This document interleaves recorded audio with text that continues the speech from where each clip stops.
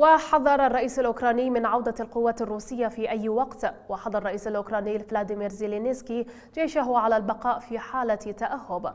مؤكدا أن القوات الروسية قد تعود في أي وقت إلى الحدود رغم إعلان انسحابها.